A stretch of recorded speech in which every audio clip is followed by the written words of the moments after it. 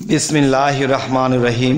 হে সমস্ত জগতবাসী আজ আমি স্বামী মালি চিস্তি আপনাদের সামনে যে আলোচনাটি নিয়ে হাজির হলাম, সে আলোচনাটি অবশ্যই খেয়াল করে শুনব, তাহলে আমরা কিছু বুঝব। সেটি হলো দেখুন, মানুষ সব সময় শুনে এসেছে একটি কথা, সেই কথাটি কি? যে ইনসাফের পাল্লা। কিয়ামতের দিন আল্লাহ ইনসাফের পাল্লা ওজন করবে। সেই ইনসাফের পাল্লা ওজন করবে কীভাবে? এবং সেই ইনসাফের পাল্লাতে আপনি, আমি টিকতে হলে বর্তমান কি কি করতে হবে? এবং কোন জিনিসগুলো আমাদের মধ্যে সেটিং করতে হবে?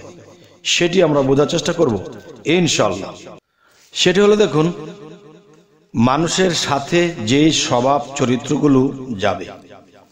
দেখেন, একজন মানুষ হাঁটা অবস্থায় সে জিকির করে। যে প্রত্যেকটা কাইকে কে জিকির করে। দেখবেন কিছু কিছু লোক আছে, দল বেঁধে হাঁটে, এক একজন এক এক কথা বলে, ভগর ভগর করতেই থাকে। আবার এক ধরনের লোক আছে, তারা মাটির দিকে তাকায় এবং প্রত্যেকটা কাইকে কাইকে তারা জিকির করে। আর নিচের দিকে তাকিয়ে তারা কি দেখে? যে তাদের পাড়ার তলে পড়ে যেন একটি পিপিলিকাও মৃত্যুবরণ না করে, তা দেখে দেখে হাঁটে। তার মানে তাদের প্রত্যেকটা কায়িক, প্রত্যেকটা হাতা, প্রত্যেকটা হাঁটার গতি দেখে দেখে, যেন পৃথিবীতে আমার দ্বারা কোনো প্রাণী বিনষ্ট না হয়। আচ্ছা এটাও কিন্তু মানুষের একটা বিশেষ আমলের মধ্যে পড়ে। এরপরে দেখা যায়, কোনো কোনো মানুষ আছে পৃথিবীতে মানুষের কোনো দুঃখ, দুর্দশা হলে তাকে অর্থনীতি দিয়ে না পারলেও তাকে বোঝ হলে দেয়, হাতের কাজ হলো সে করে দেয়। যে মানুষের বিপদ আপদে সে ঝাঁপিয়ে পড়ে, হয়তো সে গায়ে খেটে দেবে, আর অর্থনীতি থাকলে সে অর্থ দিয়ে করে দেয়। বা কাউকে বুদ্ধি দিয়ে তাকে সান্ত্বনা দিয়ে যদি কিছু করা যায়, তাহলে সেটাও সে করে দেয়। তা এখন যে কথাটি বলব, যে দেখেন, মানুষের স্বভাব চরিত্র যে একটা জিনিস আছে, সেই স্বভাব চরিত্রটাই মানুষের সাথে যাবে। দেখেন, আপনি একটা জিনিস খেয়াল করবেন, একটা মানুষ যখন ঘুমিয়ে যায়, ঘুমের পরে কিন্তু সে মানুষটি আর বলতেই পারে না সে কি বেঁচে আছে না মরে আছে। কেউ যদি দেখে একজন মানুষ শুয়ে আছে, তার শোয়াটা দেখে কেউ না কেউ ভাববে যে এমনভাবে শুয়ে আছে, মনে হয় মারাই গেছে নাকি? তাহলে মানুষ যখন শুয়ে পড়ে, তখন মারা গেল না বেঁচে আছে, এটা কিন্তু বোঝা যায় না। তাহলে প্রত্যেকটা মানুষ যখন ঘুমাবে, এ ঘুমার আগে কিছু আমল আছে? সে আমলগুলো যার যার মুর্শিদ, যার যার গুরুজনের কাছ থেকে এটা শিখে নিতে হবে। এবং ঘুমানোর আগে যে সাধনাগুলো করার কথা, যেগুলো করলে আপনার স্বভাব, চরিত্র এবং দেখা যায় যে বাহ্যিক জগতে যার স্বভাব, চরিত্র ভালো থাকে, সে কিন্তু মৃত্যুর পরে যদি কোনোদিন জাগ্রত হয়, তাহলে সেই মানুষটিও সেই স্বভাব, চরিত্র নিয়েই সেখানে উঠবে। বিশেষ করে মানুষ যখন ঘুমাতে যাবে, এর আগে দিয়ে তিনটি সেজদা আসতে তিনটি সেজদা এর আগে পরে কিছু কোরআনের আয়াত পাঠ করার আছে, কিছু কথা মনাজাতে বলার আছে। তা করে যদি কোনো মানুষ ঘুমিয়ে পড়ে, তখন তার মধ্যে শয়তান ধোকা দিতে আসতে পারে না।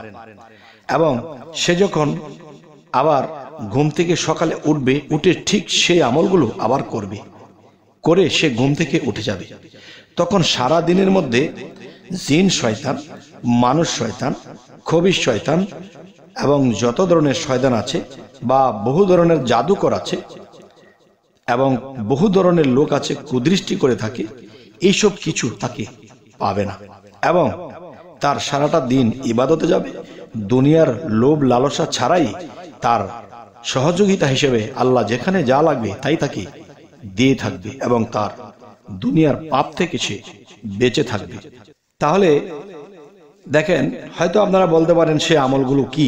আমি আনুষঙ্গিক বলতে পারি, কিন্তু এর মধ্যে আরও কিছু কর্ম থেকে যাবে, সেগুলো নিজ মুর্শিদের কাছে এগুলা জেনে নিতে হয়।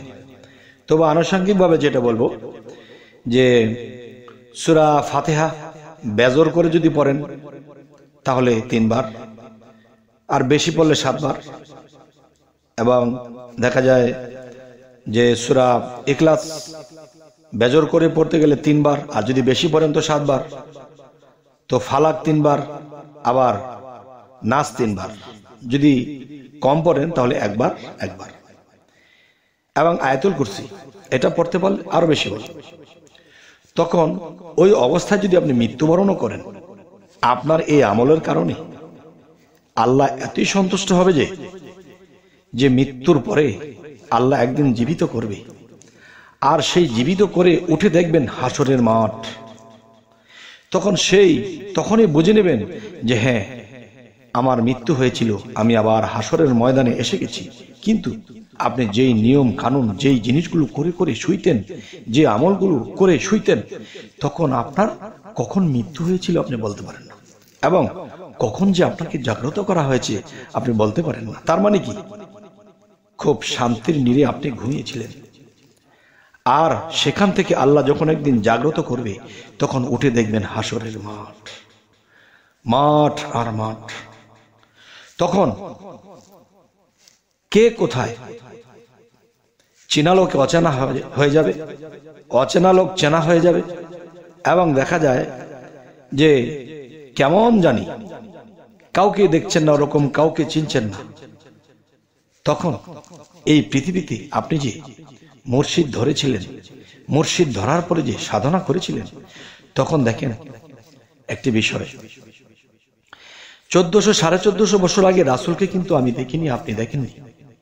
তাহলে সেই রাসুল যদি আমার সামনে দিয়ে ঘোরাঘুরি করে, আমি কিন্তু তাকে চিনব না। আমি তখনই চিনব। দেখেন, তাওহিদেরই মুর্শিদ আমার মোহাম্মদের নাম। তাহলে সেই মুর্শিদ কিন্তু পৃথিবীতে আছে। এবং সেই মুর্শিদের স্রোত কিন্তু আমি সেখানেও ভুলব না। তখন সেই মুর্শিদের স্রোত কখনো শয়তান ধরতে পারবে না। যেহেতু মুর্শিদ শব্দটা কোরআনে আছে, এবং সেই মুর্শিদ সেই রাসুলকে চিনিয়ে দেবে। আর সেই রাসুলকে যখন চিনিয়ে দেবে, তখন রাসুল আমার পার গান্ডার হয়ে যাবে। আলহামদুলিল্লাহ। তবে হে সমস্ত জগতবাসী আজকের এই আলোচনাটা কেন দরকার হলো? অনেক মানুষ পৃথিবীতে নিরাশ হয়ে যায়। আমাদের কি উদ্ধার হবে? আমরা কি পরপারে ঠেকে যাব? দেখেন। সারাদিন হক হালাল ভাবে যারা চলে এবং মৃত্যুর পরে তাদের কাছে এরকম কিছু ফলে যে সেই রাসুল, সেই মুর্শিদ, সেই খোদা আমরা সহজে সেখানে পেয়ে যাব। আমাদের আর ভয় থাকবে না। তবে হে সমস্ত জগতবাসী আজকের এই আলোচনাটি আমি আশা করব সকল স্তরের লোকেদের কাছেই। ভালো লাগবে এবং ফলাফল পাবেন। তবে শরীয়তের কেউ শুনলে এই কথাটি বা এই আলোচনাটি এরকম কিছু ভাবতে পারেন যে তিনি তো বলল, কথা ঠিক আছে, কিন্তু আবার মুর্শিদের কথা বলল। দেখেন, সুরা কাহাফের সতেরো নম্বর আয়াতের মধ্যে যদি আমরা লক্ষ্য করি, আল্লাহ কিন্তু বলেছে, পৃথিবীতে যে যত ইবাদতি করো, যত ধরনের কর্ম আমল করো, ফায়দা হবে না। যতক্ষণ পর্যন্ত তোমরা আমার মুর্শিদকে মানো নাই, জানো নাই, ধরো নাই, বোঝো নাই, তারা পথভ্রষ্ট। এত ইবাদত করার পরেও তারা পথভ্রষ্ট। তাই বলব, হে সমস্ত জগতবাসী আজকের এই আলোচনাটি কি? কেউ যদি মানেন, কেউ যদি করতে পারেন ইনশাল্লাহ পরপারে আমাদের ভয় থাকবে না।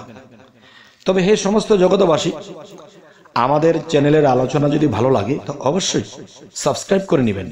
যদি ফেসবুক হয়, অবশ্যই ফলো করে নেবেন। পরবর্তীতে যেন ভালো আলোচনা এনে দিতে পারি। তো সকলে ভালো থাকবেন। আল্লাহ হাফিজ।